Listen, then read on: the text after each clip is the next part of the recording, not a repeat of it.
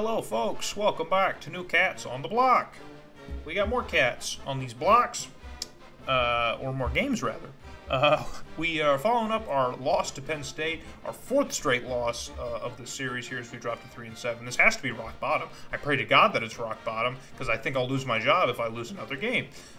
So we desperately need uh, a win, and I don't know if we're going to get it against the 10th ranked team in the nation, uh, the Michigan Wolverines. Uh, this is one of the downsides I knew that we would have uh, doing a a dynasty in a Power 5 conference, specifically the Big Ten, because the Big Ten is loaded with programs like Michigan that, uh, even on a down year, bro, are still going to probably kick the snot out of us every single year. So, um, I'm holding up hope that we can do something today because we desperately need to do something. Uh, I haven't even looked at my coaching report card uh, when I recorded these, so I- I'm probably at like a D minus. like it's just like the AD's just like, dude, you got to do something, bud. Uh, but looking at Michigan's season here so far, uh, they beat Central Michigan and Houston in convincing fashion. Their only loss, uh, well, they lose to Notre Dame, who of course is ranked here, uh, and they would bounce back, uh, winning in convincing fashion. They would also lose to Minnesota, who we did beat. So those are uh, Michigan's only two losses of the year. They won the rivalry game against Michigan State, 41 to six. Jeez, but Michigan State's always bad at these. So.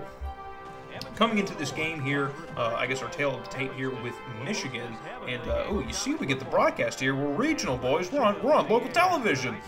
They decided to put Michigan on local television. I guess that's the perk of playing a ranked team here. Is we get to be on TV a little bit. You guys get to see the opening cinematics. Uh, so, but uh, yeah, we're three and seven. It's not a, a good look, but uh, it's okay. You know what I mean? Um, but anyway, Michigan comes in this game. They are second in the conference, of course, behind Ohio State, who's got a, a two-game lead here. They may, they may as well have clinched the Big Ten title at this point, uh, with only a couple games left in the season. Uh, but of course, Michigan has to still play Ohio State to close their season, so who knows how that goes.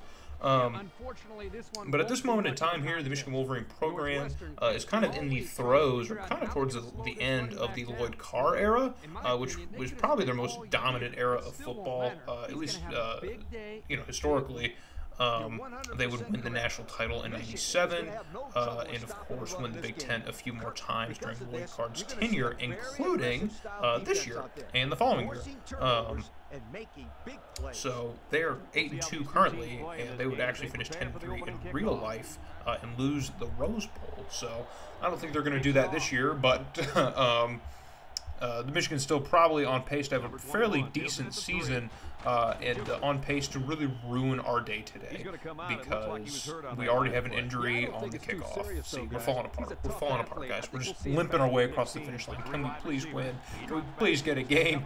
As uh, their quarterback's going to drop back and the pressure is on, but he floats that one out to the running back number 23 who hauls that one in. Uh, he's just a little bit faster than our defender was and was able to find the opening to get that ball. Uh, even under pressure, that pass was still on the money. Dropped it in the basket. So first and 10 for Michigan. They're already in Wildcat territory. Not looking good as they go to the handoff here. And number 23 just shakes off our linebacker, bro. Like, he wasn't even there. He said, what defender? Who tried to touch me? Was that a fly? As he cuts upfield and uh, turns that run play into something else to get a first down. So Michigan's moving the ball here. Two plays, two first downs. That's that's probably going to be the story today. Uh, and Santa right there in, in the pocket, and he still doesn't make a clean throw as he finds our linebacker number 41 who just stands in front of the receiver and hauls that one in. And he thought, I guess he must have thought he had the opening there, but he really didn't. So, first and 10 now uh, for the Wildcats heading the other way. We're going to try and go with the ground game. And, of course, the ground game is not going to work out against a team like this. So, second and 11 now. We have number 14 back in the game. We tried to start as many quarterbacks as we could last game, but it really didn't work out. And we somehow find number 9's hands in that mess of Wolverine players. I mean, I guess that's why I had to bench 14 is just because of all those dangerous throws and picks that I'm essentially making, but uh, I get to blame the, uh, the quarterback. Okay, I think that's fair. we try and find the running back out of the backfield on the next play who has to come back and make that catch, and uh, there's not much doing. There's not a whole lot of room to operate.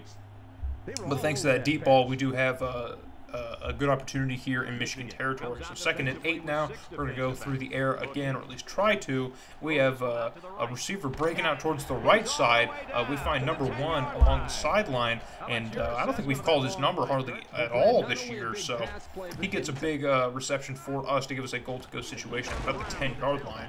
We're going to go with the ground game, and number 18 works it upfield uh, and, and, and, gets a nice tackle uh, to fall forward. So we're at about the six or seven yard line now. We're going to try and throw this one through the air for a touchdown. And we find number 80 across the middle who just has enough of his body in pay dirt uh, to get that one good to go for six.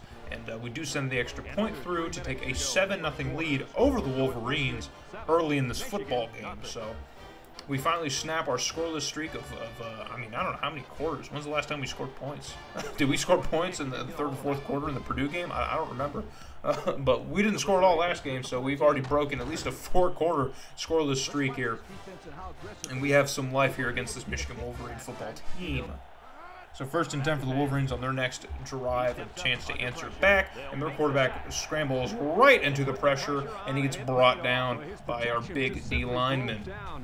Number 16 had zero pocket awareness. He just stepped right into that one. So it's second and 14 now uh, for the Michigan Wolverines way deep in their own territory. They're going to go with the pitcher, number 23. Our linebacker just standing there ready to make that open field tackle, and he absolutely knocks that ball, knocks the rock right out of 23's hands. But uh, fortunately, Michigan is able to stay uh, with the ball to fall right on it. So it's third and very, very long now. And they got to get something going, and they find the tight end who cuts up field, breaks a tackle. Can he get the first down? He gets brought down close to the marker.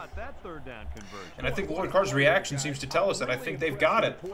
And that is a humongous collapse uh, to have here for our defense, man. We had that play dead to rights, probably the line of scrimmage, and they somehow turned that into a 17-yard gain for a first down. So Michigan will continue with the football moving upfield. So on second and short, uh, they're going to go with the fullback now, who seemed to have an opening, uh, but he gets caught on the on a defender, I think, on the ground, and uh, that's going to stop his momentum. So it's third and inches. Can we finally get Michigan off the field? We send the kitchen sink. The pressure gets to the quarterback, but he has enough time to find an open man, uh, and it looks like he maybe got one foot down a toe drag, and that's all you need in college. So that's going to be another first down for the Michigan Wolverines, and they're finally operating in Northwestern territory. We get some pressure again. The pocket's collapsing a bit, but it doesn't matter because number 16 finds his man uh, along the sideline on the left side of the field. That is tight end number 88, who hauls that one in if we can get to the quarterback and force some costly mistakes, man, he might throw us another uh, another pick. He might lay us one up. Uh, but that's going to end the first quarter. Uh, our seven nothing lead holds strong over number ten ranked Michigan. Man, I don't. I'm not going to say anything, but I'm just keep the upset alert close by. Just keep it close by.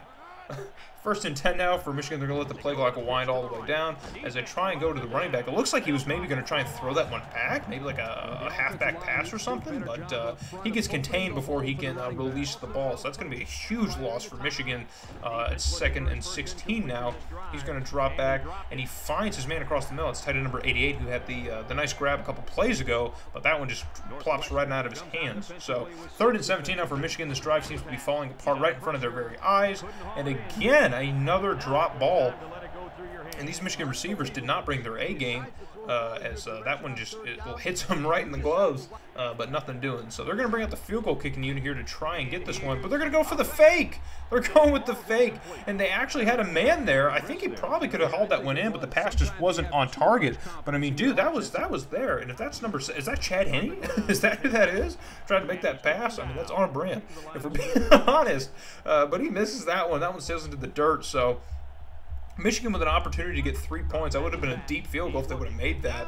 Uh, but they had an opportunity for some points there to maybe cut the lead uh, just about in half. But uh, instead, they tried to go for the trick plays here. Lloyd Carr thought he was slick, and that didn't work out. So now we have this ball going the other way. Uh, close to midfield, but we're already facing a third and 10 situation. Can we get something going as we find number two across the middle? It looks like Michigan was in zone coverage right there. They didn't see number two was kind of drifting towards the sideline. So we were able to uh, wait a little bit and let that play develop a bit more and find find our open man. So right around midfield, we're at about the 44, 45 yard line, uh, or excuse me, the 48 or 49 yard line. Um, and we try and find number one again, uh, but he is well covered, and that was a dangerous pass to throw. Fortunately, that one just falls to the grass, and we will have a uh, another day to live with this offensive possession. So second and 10 now. We're going to go with play action, go with a, a little fancy pitch here. We're going to try and redirect uh, because there's nothing doing on the right side of the field, but uh, Michigan is, is all over that play, and uh, we cannot extend it any further. So third and nine right here at midfield. What can we do to keep the drive alive? We're going to drop way, way back, and we're going to float this one out uh, to believe that was number nine, uh, who really didn't have an opening there. I thought maybe he could uh, beat out those defenders, but there was a few of them there, so that one doesn't work. And now we have a yellow hanky here, and it looks like we got a false start on the Wolverines, so the mistakes just keep piling here. This seems to be their game to win. I mean, honestly, man, this is an easy one. This is win number nine on the season for the for the Wolverines, but uh, they are they are fumbling it every which way they can. So first and 15 now, uh, deep in their own territory for the Wolverines. They're going to drop back now, and it looks like a screen pass that doesn't uh, doesn't really seem to have developed, but we can't put any pressure on the quarterback. What a weird play.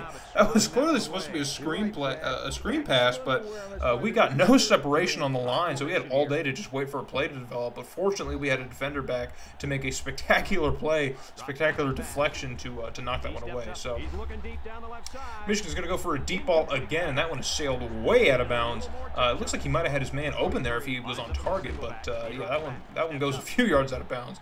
So they're going to try for the deep ball yet again, and again he overthrows his man.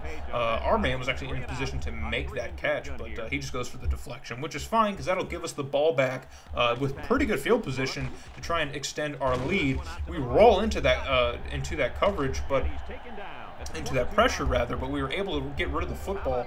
A dangerous pass by our quarterback, but he does find the tight end along the sideline, who makes the catch, and uh, cuts upfield here, just narrowly beats out the defender uh, by about an inch, man. He doesn't have that speed, so number 21 was able to catch up, but it doesn't matter because we, uh, we, we get uh, a good gain here on the play, we are now working deep in Wolverine territory. We're going to drop back again, and the pressure's on again, but we just barely get that ball to number two. Uh, that one was so close to being picked off or just being picked by the defense rather, just red. Uh, but we were able to squeeze that one in the window. So it's first and goal now from about the nine uh, for the Wildcats, and we have an opportunity here to add another six points. We thought that went out to the tight end again, who has the catch uh, and gets us about uh, four or five yards on the game on, on a gain here. So it's second and goal. We're working close here to the end zone. Can we add some points? We're going to pitch this one out to the running back. There's nothing going on. We try to redirect. We try to avoid uh, everyone we don't want to touch, but uh, Michigan has that play contained. We still struggle to run the football for yet another week. so third and goal. Michigan's going to send some pressure. We're going to roll out and find the tight end, who is the MVP for this drive, man. He kept us going as he hauls that one in and steps into the end zone for another six points. And now, ladies and gentlemen, don't look now, but we got a 14 0 lead over them over this Michigan Wolverine football team with a minute and a half left to go in the first half. Again, I'm not telling you nothing about upset alert. Just, you know, keep it close. Just keep it on your phone. Keep watching it, you know? We're going to give Michigan another opportunity with the football to uh, to end the first half potentially, uh, unless they have another blunder of an offensive drive to get the ball back. But they have a minute and a half to operate here. They don't get that great of a return. They're going to send a man in motion. What's going to go on? What's going to happen? They let the play clock wind. Uh, number 16 is going to drop back and look over his options. He's got a clean pocket to make a play, and he still sails that one out of bounds to our bench.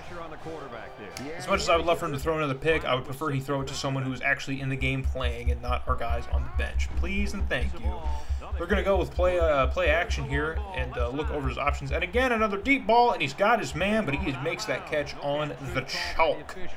So, tremendous catch here, but you can see. not uh, not not good.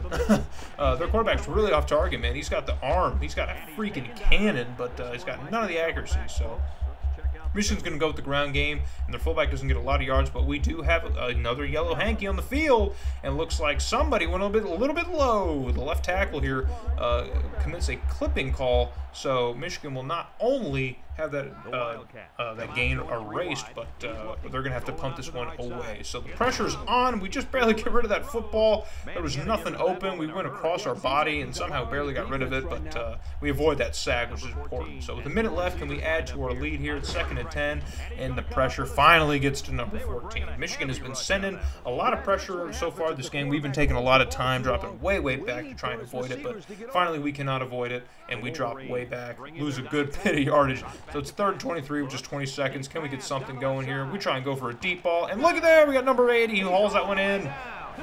with 13 seconds, we're gonna call timeout. Maybe we could, uh, maybe we can knock this one through here and get and get some extra points, man. What do you think? Taking a 17 nothing lead over Michigan here, but uh, we're gonna keep the offense here and maybe take one more shot at the offense. What we can do. And we throw an interception. And he shakes a man off, and he's got no one in front of him. We only got number 14 in pursuit, but he does not have the speed. He cannot outrun this linebacker. There's no one in front, and the clock's going to hit triple zeros as number two is in pursuit, but it doesn't matter because that is a pick six for the Michigan Wolverines. And again, for what, the third, fourth, fifth straight week in a row, I swear to God, at the end of the first half, we somehow have a meltdown and give up points, give up a huge costly play on a drive that could have seen us extend our lead to 17. Michigan turns it around for a pick six off a big linebacker, man. It wasn't even one of their faster cornerbacks. It was a linebacker who just shook off a tackle or two and found the room to get back to the end zone. So that is upsetting to say the least. But uh, we still do have a seven point lead over Michigan. No lead is safe, uh, especially with how terrible our offense is. So we're going to need to play pretty smart football in the second half here. And that is not smart football as we're putting the rock on the ground and now there's a flag on the field. From bad to worse, I swear. Man. From bad to worse. So, and it's a holding call. Man, oh man. So not only is our running back putting my football on the grass, but we also got our lineman grabbing too much of the jersey here. I know this uh, Michigan D line, bro, is probably pretty tough, but we can't be we can't be committing grievances like this. So now we are snapping the ball, trying to get it out of our own end zone. That was a humongously dangerous play. As we barely get rid of the football, we were standing right in the end zone, and that one's nearly picked off. So second and 19, can we get anything going here? The pressure's coming yet again. We roll out, and somehow we find number one. That one might have been tipped. I have no idea. I don't even know how number one caught that ball. That was great defense by Michigan here, but we uh, we fortunately get that gain. So it's third and three. What can we do? We're going to go with the ground game. Go to the fullback, and he gets spun out, and we cannot pick up the rest of what we need. So the roller coaster of emotions that was this drive to come out of the first half uh, ends up as a failure for us. We're going to have to get this ball back to the Michigan Wolverines. So they're going to float that one out to the tight end, who has that one brought in at uh, the Michigan 45-yard line by the looks of it. So another first down for the Wolverines. They inch closer to midfield. Uh, what can they do now is they go with a fake handoff. They're going to float this one out to uh, number 9, who was open. He had a, a, little half step here on our defense, but uh, again, not on target is number 16. So it's going to bring up second and 10 for the Wolverines at the 45-yard line. We're going to go with another fake handoff, play action here. The pressure's getting to the quarterback, but he dumps one off to number 27, who's just sitting there waiting for it. Uh, but we also had a defender who was sitting there waiting for it. So we make a pretty nice play there. And uh, it's a it's third down situation. They're going to go the running back, and he cannot set the edge and is brought down at midfield. So that will force another fourth down for the Michigan Wolverine uh, football team. So we get the ball back now, uh, heading the other way. And the, the pressure gets to us, but we find number one again. We float it out to him. Because why not, man? He is our guy. He is our dude. He's certainly the dude for today anyway, but there's another flag, and it looks like a Wolverine maybe grabbed a little bit too much of the helmet. So add, add me another five yards. Throw me another five yards, please, I beg of you. Lloyd Carr can be as mad as he wants to. It does not matter because we have a first down.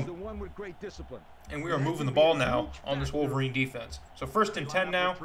We're going to go with another handoff here, and this time Michigan has it one well covered. We didn't have anybody on the outside to really cover for us. Uh, so number three is able to get in the backfield and uh, limit that gain quite a bit. So Second and 13 now. We're moving the wrong way. We got to move forward here. We got a clean pocket. We throw this one out to number one. Makes another catch, and there's our guy, number one. Number one in our hearts. It might have been long enough I've just forgotten about who we spread this ball. Number one's our biggest contributor, I guess. Um, so on our next play, we're going to go through the air again. I'm going to go for a deep ball. Should not have went for a deep ball. Throwing it in triple coverage is my specialty. Uh, I just I can't stop myself from doing it. I just love doing it. So second attempt, we're going to go with the ground game, and we we got some blocks missed, and Michigan is able to get back and penetrate and get to our running back. So now we're looking at third and 16, and things are not going well for us. What are we doing? What are we doing? We're going to try and float that one across the middle, and again, there's nothing but Wolverines in that direction. What do you think you see, number 14? What do you think you see?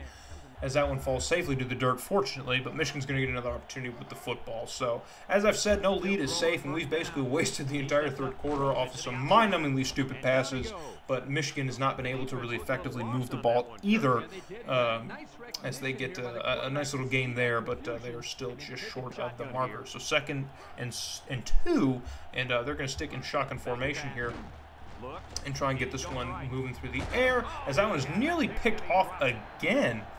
You think we were having a bad game. Number 16 just cannot seem to cleanly find an open man. We're going to send the kitchen sink here on third down, but they are able to flip it off to the running back number 23, who makes the catch and picks up a first down for Michigan to keep their drive alive. I thought if we sent everybody, we could maybe contain their quarterback. They could make a terrible throw, or no throw at all, but uh, he's able to get rid of it. So but that will bring a close to the third quarter.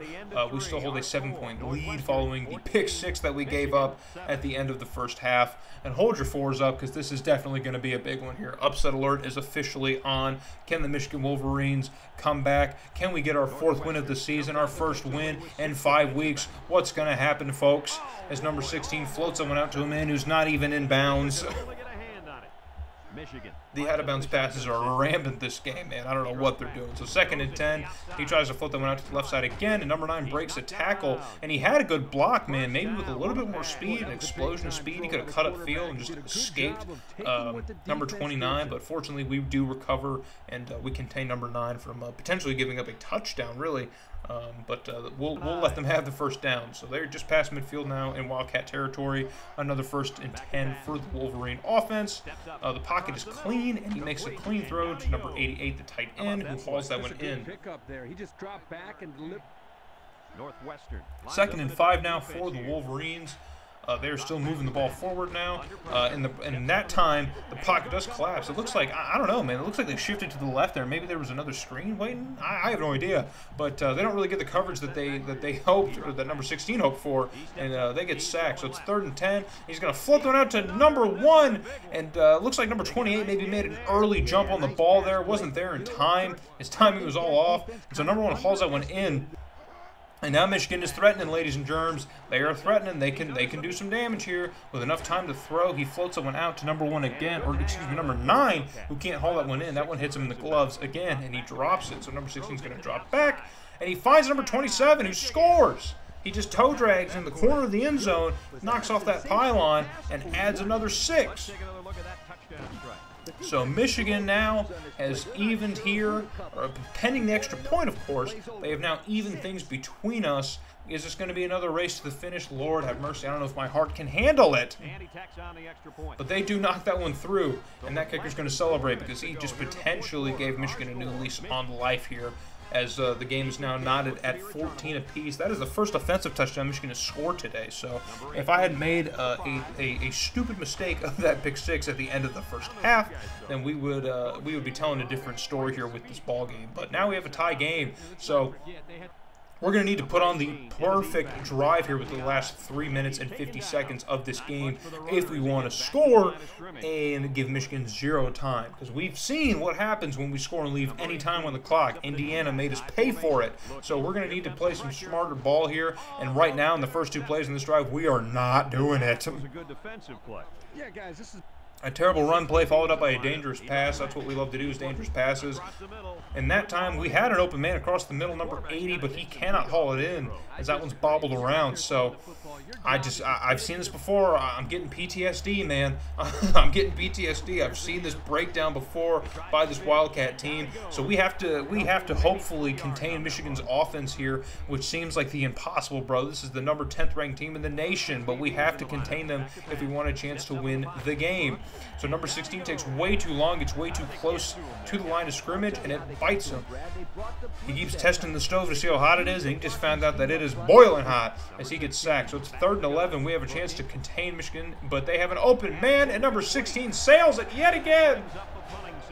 He finds the grass with that pass and not an open receiver for about the 10th time today. So we do get the ball back with just two minutes. So now we have an even more, uh, just better position to potentially burn the rest of the time on the clock here and maybe add some points to win the game. So I got to be real smart here with how we manage our time. With just a minute and a half left to go. We got a long way to go. We find number nine across the middle, who hauls it in and gets brought down at about the 49-yard line.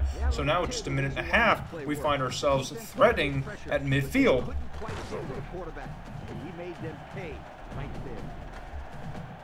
A solid play here by the offense. We got to get something going. We haven't seen a whole lot of greatness at all today and we need something here.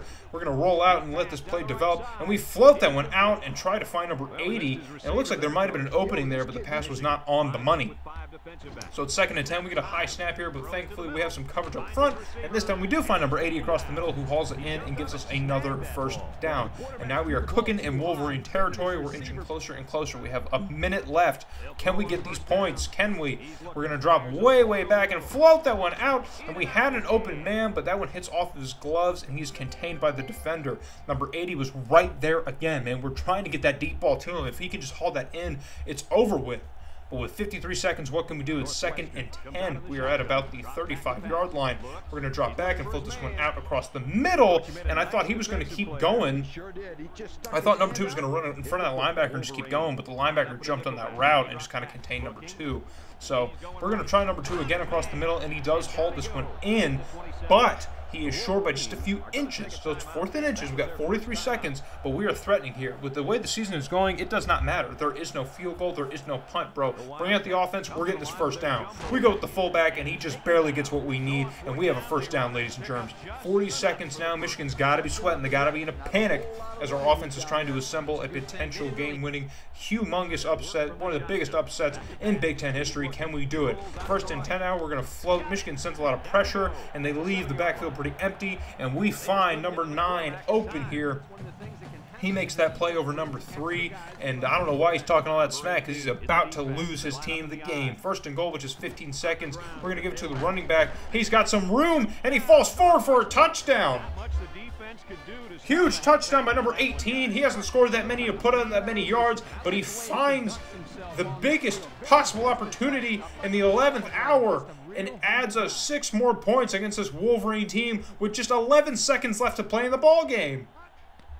We're going to knock this one through and take a seven-point lead here with just 11 seconds, folks. I can't stress enough 11 seconds. Now, I thought I didn't leave enough time with Indiana, but they made me pay for it.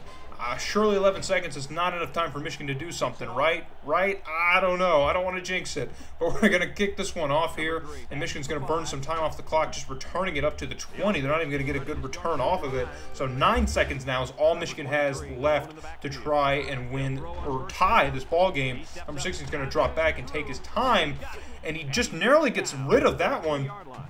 He gets hit on the throw, so number one has to come back and make the catch, but he does get it. And now with the time hitting triple zeros, he lobs that one up deep, and we got men in position to block that one, and that is going nowhere, baby.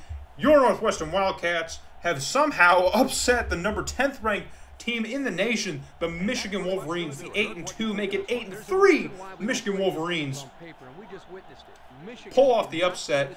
I mean, man, I think we had the greatest games in this in this game. I think NCAA 04 might be the first game with the, the whole great game score or whatever. So this is probably going to be on there. But man, we don't play that amazing of a game. I mean, all things considered, it's a pretty on-brand game for us. I guess Michigan just really played down to their competition. Our offense did outperform them. We did not run the ball well at all because that's typical. That's what we do. We don't run the ball here. Uh, we get to uh, number 16 three times in this game. That's a pretty big stat to focus on, sacking the quarterback three times. I think that was a huge uh, contributing factor to why we were able to win this ball game. Um, but uh, yeah, we didn't make as many mistakes either. We only had that one pick, which I mean, you know, I could have potentially lost the game if Michigan won because I mean they really only put up that one offensive touchdown. So but uh, other than that, I think the mistakes were kept mostly to a minimum.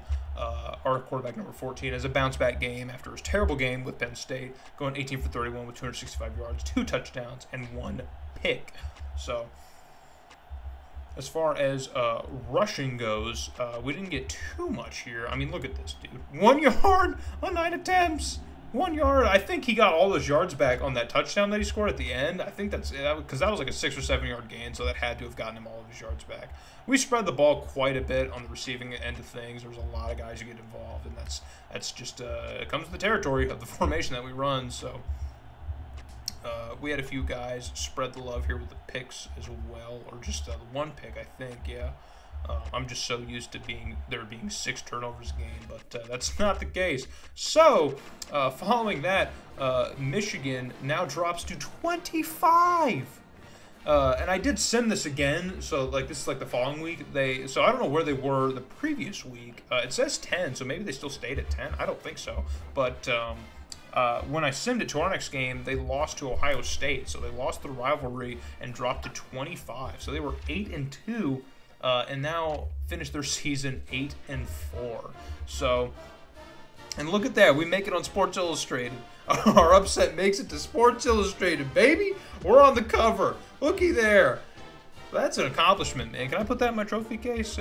so this next game that we have here against the Fighting Illini, our last game of year one, we, I mean, dude, this couldn't be a more even matchup between us. Look at this. We are 65, they're 66. We're both 4 and 7. They're coming into this game on a two game losing streak.